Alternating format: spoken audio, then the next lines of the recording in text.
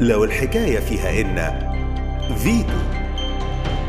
بالتالي بيطفح على الراجل إنه بيعمل حاجة لحد وهو مش مبسوط منها.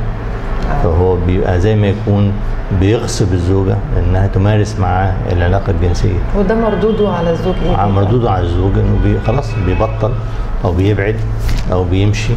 أو بيبقى متضايق من هذه ال- ال- الفعل يعني آه. وبالتالي هيبقى هنا العلاج موجه إلى الزوجة مش موجه إلى الزوج إزاي نعلمها إزاي تنبسط جنسيا فبالتالي لو لو عملت ده هتبقى مقدمة على العلاقة الجنسية لأنه أحيانا الست ما بتاخدش من العلاقة الجنسية غير زي ما بنقول كده بين قوسين قرفها يعني إيه؟ آه. يعني إن الراجل بيخش العلاقة بيستمتع هي ما بتستمتعش انما بتاخد إيه بقى؟ إنها لازم تقوم بعد العلاقة آه، تستحمى وتغسل شعرها وتعمله باستشوار وتنشفه عشان تروح تاني يوم الشغل فبتبقى علقة عليها يعني مش جاي لي من ده حاجة يعني.